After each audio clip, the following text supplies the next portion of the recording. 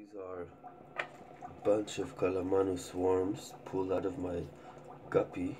You see the Calamanus worm on the left here, not really moving, and some of this guy's intestines still out.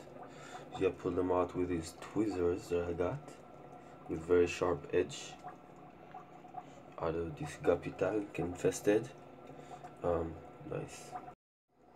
Looks like there are three Calamanus worms. This one. This one, which might be two, that looks like a chunk of meat came out.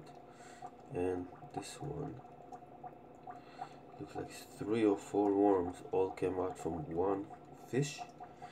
Looks like that's all that was in there because part of something came out and did not look like a worm. Um, yeah, pretty gross. I added some water to the jar.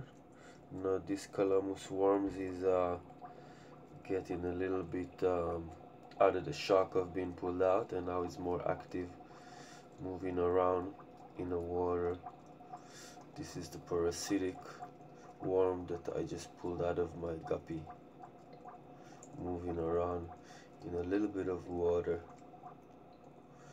horrible horrible parasites I got three of them here out of one guppy female.